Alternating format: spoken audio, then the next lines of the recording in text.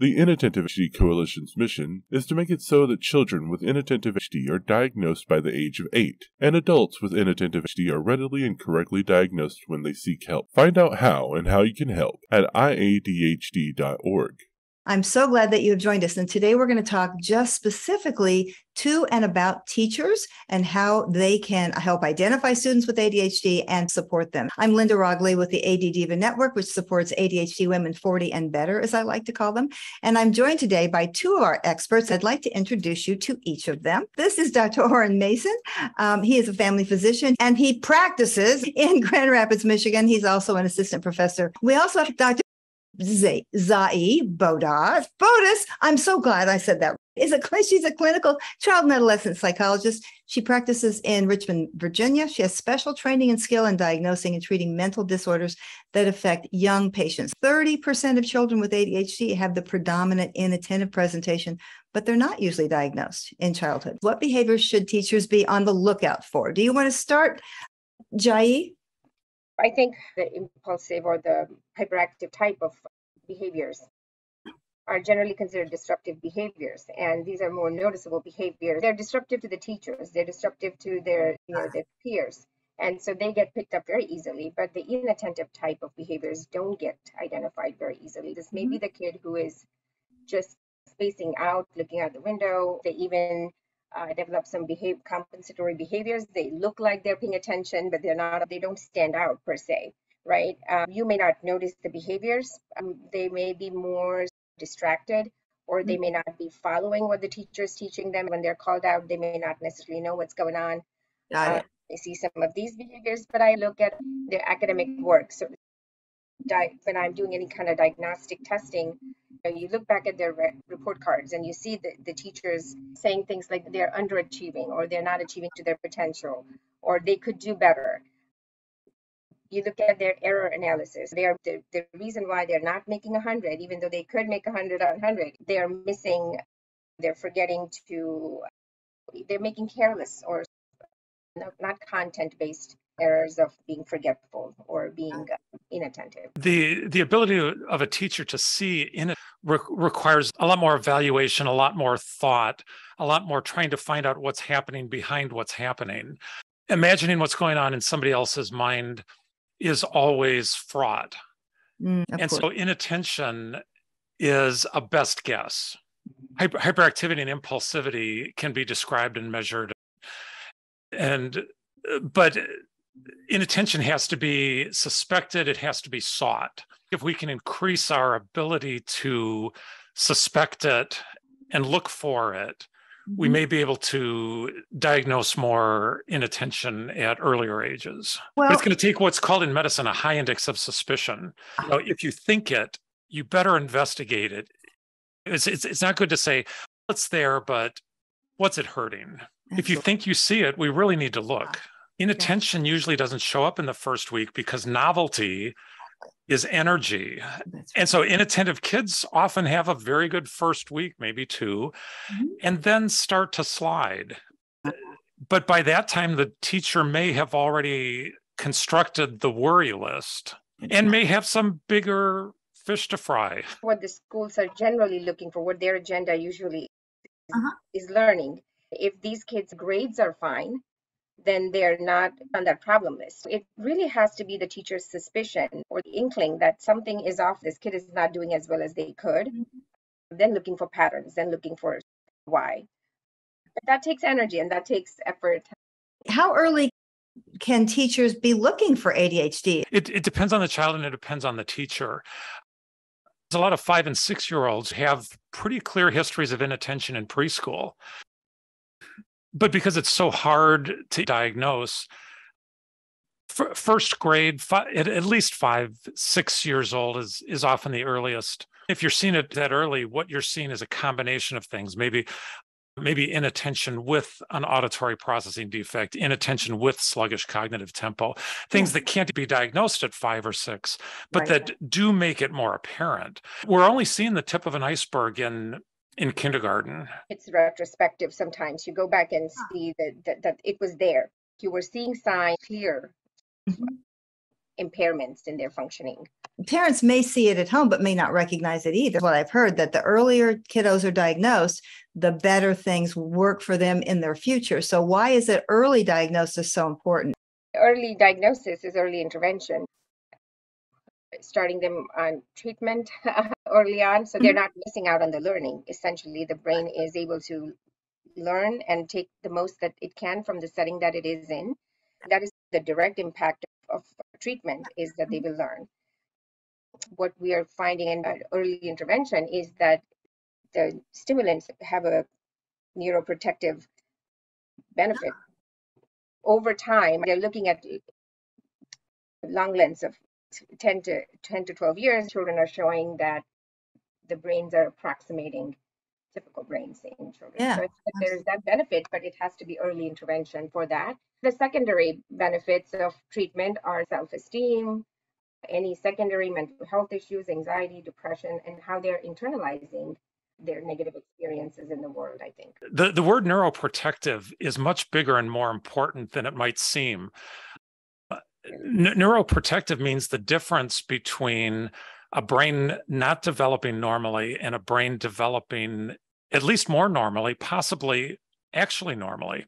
Yeah. We see underactivity in the prefrontal cortex. We see poor connectivity between the prefrontal cortex, which is where we're learning organizational principles and executive principles. We see poor connection between the prefrontal cortex and the action centers and the motor centers and the coordination centers of the brain. To be able to grow up with all cylinders firing is vastly different than to grow up trying to work around. I can't, this is hard for me to do. How am I going to do it? Not just for big projects, but that how am I going to do this occurs in a brain hundreds of times per day as new little challenges come up in new little circumstances. The neuroprotective effect of early treatment is so important. I just have to amplify that answer.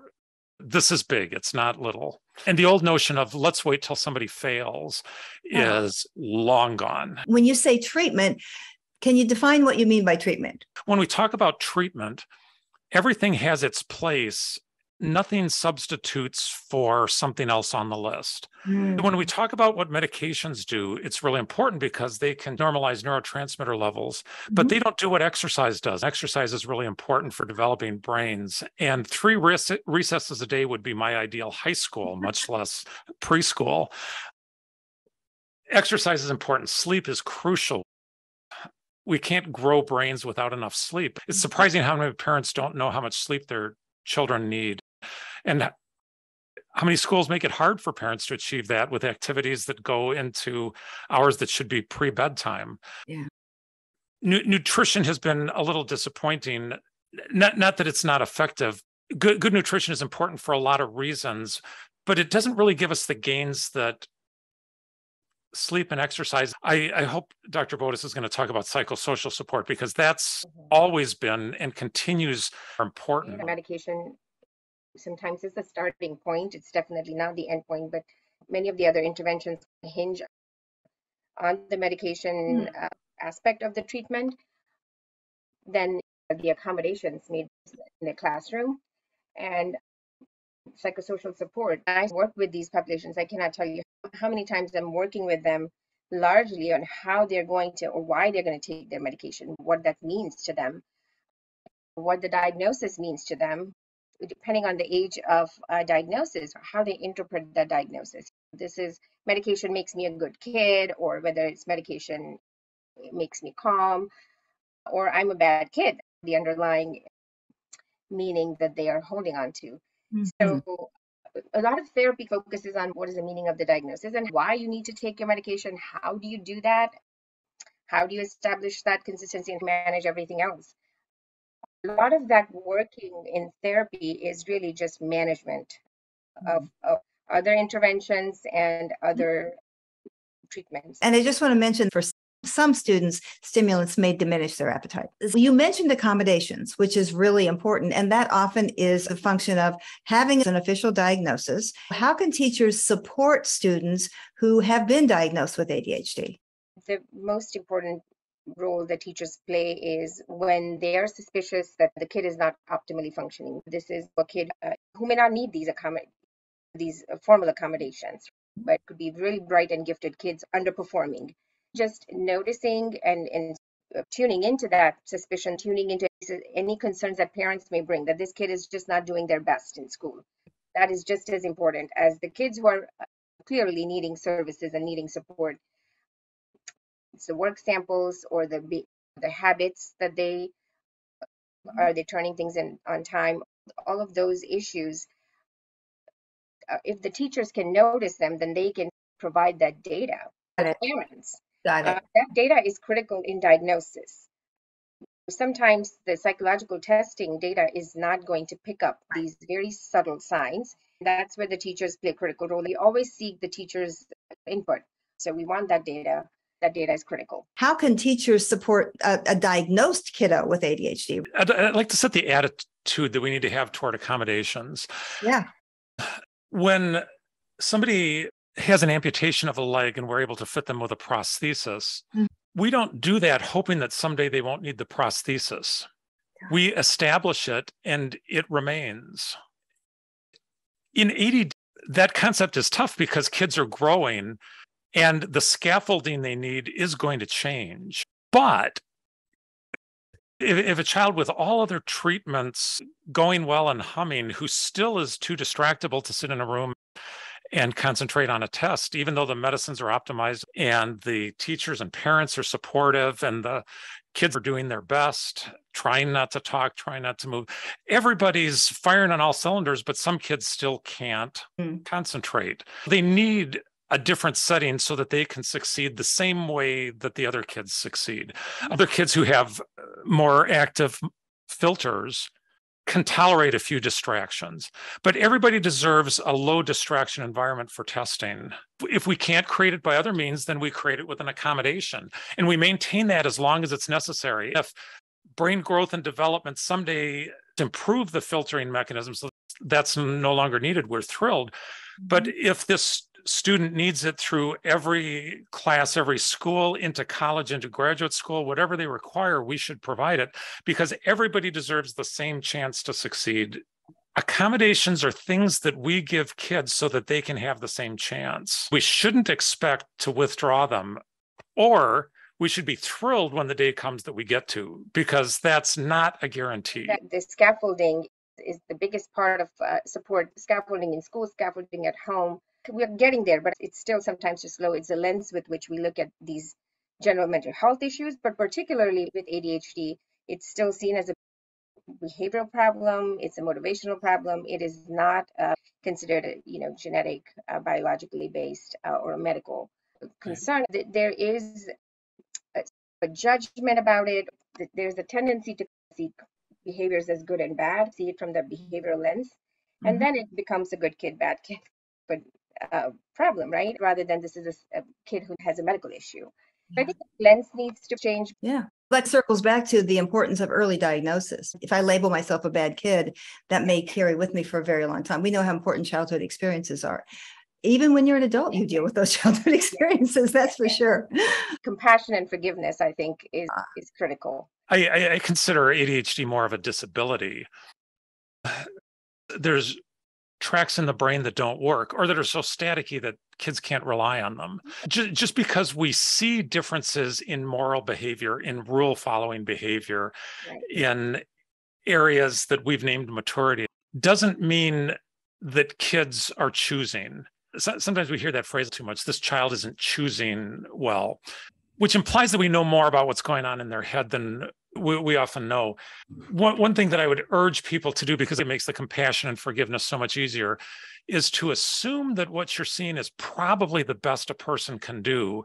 And then asking, what would it mean if this is literally their best? What would that tell me? Uh, that question has helped me learn the compassion and forgiveness that I, I, I think normal kids, much less kids with learning difficulties and mental health disorders need.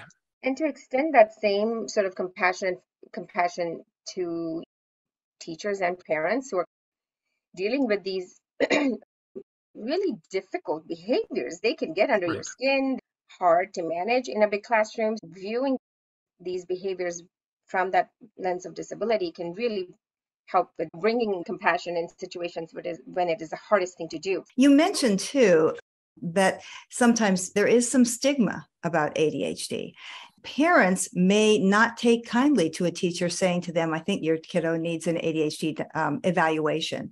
How do teachers talk to parents so that you instant resistance, which you may well get? Do you have any suggestions? As a teacher, if you're really looking at this kid and or see the invisible struggle that the kid is trying, that the kid is uh, forgetting, feeling frustrated, and struggling with this day in and day out, and you recognize that this seems to be beyond uh, just a behavioral issue or a habit or disorganization related to other things. Uh, I think just having that conversation with parents, not necessarily diagnosis per se, because I think the teachers don't feel comfortable going there, uh, but identifying these concerns, then directing them to to their primary care so they can explore these issues if there's anything underlying these challenging behaviors. So what I'm hearing is tread lightly on identifying or labeling and merely point out what the teacher may be seeing in a classroom and saying this might need further investigation. If a student has been identified, and let's pretend that parents are willing and able to provide the appropriate treatment and have the appropriate resources and professionals in place, how can teachers tell whether that treatment plan is actually working? I'm a big believer in measurement based care. When we have core symptoms of ADHD at onset, we would like to get rid of them, just like we would in any disorder. If somebody comes in and says, I wheeze when I breathe, and it's terrible when I get a cold, and sometimes I wake up at night short of breath, mm. we're not satisfied until all three of those are addressed. In fact, when we care for patients with asthma, we don't just want those symptoms addressed. Care standards now mean that we don't want those symptoms to happen in mild form. We want them to be physiologically normal at every test. We don't want it to ever get as bad as a symptom, but we don't even want it to get pre symptomatic. We want it to be normal. That's the best care for asthma. If we're going to adopt the same for ADD, which has 18 core symptoms, mm-hmm. and everybody with 80 dozens of other symptoms that they brought with them at diagnosis. Some kind of systematization is important. I have a 36 item questionnaire that parents do every visit. We want to get the scores as low as possible. There's some standards. There's been some testing that suggests 50% symptom score reduction is an important point in care. But how, how about 90%? Why wouldn't we shoot for 90. We really want losing things and trouble organizing to be minimal, if ever present just like people who don't have ADD. First off, we need a robust definition of treatment response, which is as close to normal as we can achieve with our combination of methods. To that end, teachers have, in one way, an easy job. If given a form, just fill it out the way you filled it out last time. A lot of these long forms are best done. Here's my gut level impression. It's happening a lot, it's not happening much. But being willing to fill in the database for ADHD kids is an important first. Every teacher has different insights, and teacher insights are awfully important. Making sure that discomforts or praises get communicated to the parents so that they get to the rest of the professional team. The other broad indicators that we see is also whether the anxiety is better. We should have been talking about the whole time because anxiety is so prevalent in inattentive ADD. Making sure that anxiety doesn't increase is very important in treatment plans with stimulant medications. Teachers are good at picking up anxiety, much better than at picking up inattention. Teacher feedback on anxiety is important in this process. This is really about taking really good care of our kiddos. I know exactly. that every teacher watching to this is committed to that. What message do you want to leave teachers with? Some ins- inspiration, some reassurance, whatever comes up for you. Viewing these children with mm-hmm. compassion can go a very long way. The kid who is redirected gently or nicely knows that means you want to be as sensitive to that as possible. So the lens of compassion is critical and it can make a big difference in the lives of these children. Thank you so much. Oren, how about you? To go back to the intuition. When a teacher has an intuition that a child is working harder than what seems to be working harder than what they seem to be producing. That's the first and most important thing to tell parents. Your child is working hard and not getting the progress. I feel bad about that. I'm not the diagnostician here. This brings up many questions about learning disabilities, learning capabilities, mm-hmm. and so forth. But I hate to see her struggle.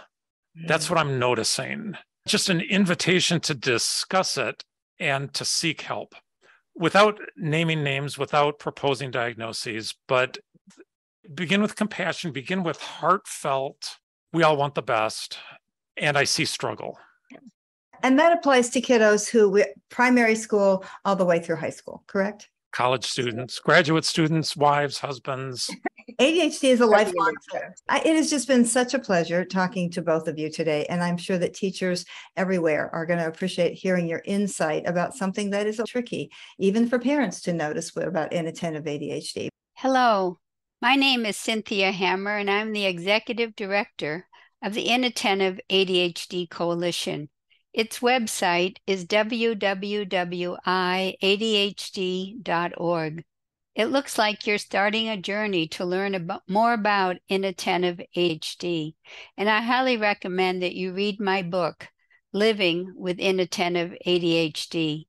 It's been highly praised by a number of national ADHD authorities, and all royalties from the book are going to benefit the Inattentive ADHD Coalition. This has been a production of Inattentive ADHD Coalition. Check us out at iadhd.org and see how you can help us by donating or by spreading awareness about inattentive ADHD.